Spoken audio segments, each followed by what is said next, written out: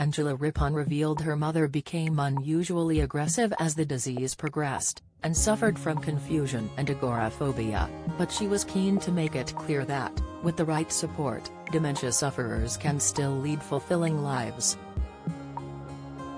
The 78-year-old journalist, who will be covering King Charles' coronation in May, revealed all about being a carer for mum Edna in an exclusive interview with Express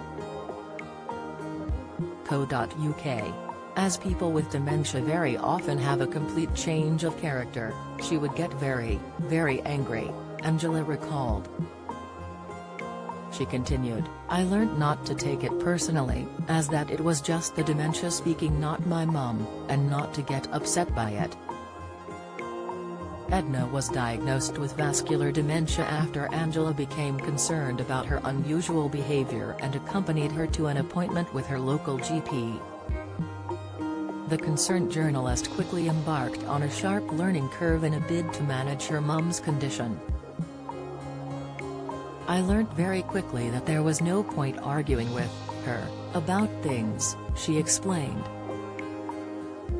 Before my mother was diagnosed, my mother would say something and I would say, Mummy, that's not true. She would go, yes, it is and we would have an argument. There was no point. I learnt very quickly to join my mother's parallel universe and to agree with what she said, and if she got very difficult, to change the subject. To divert her attention. One such example was when she would talk of going to visit Angela's grandmother, despite the fact that she had died decades before, when the star was just six years old. Don't miss. Paul O'Grady's pal saw him full of life at home just before death.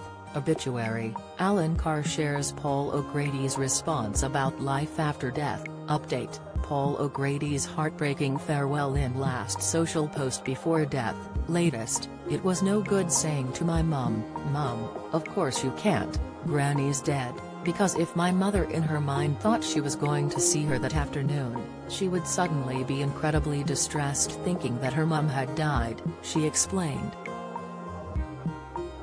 She recommends being patient, understanding and inhabiting your loved one's world, rather than trying to tell them home truths that would unnecessarily upset them. Edna had lost her husband the year before she was diagnosed, having previously enjoyed a 60-year marriage with him where the pair had been joined at the hip, and the devastating impact of that was still lingering over her at the time of diagnosis. Angela urged that people with dementia should still be invited to family events and be able to feel they are not being treated as an outsider, as they are still an important and much loved and respected person within the family. People think, she can't remember anything, why should we bother to take her to the cinema? No, they'll love it. You must, take them out, because they'll want to enjoy the moment, she exclaimed. A third of us will develop dementia in our lifetimes.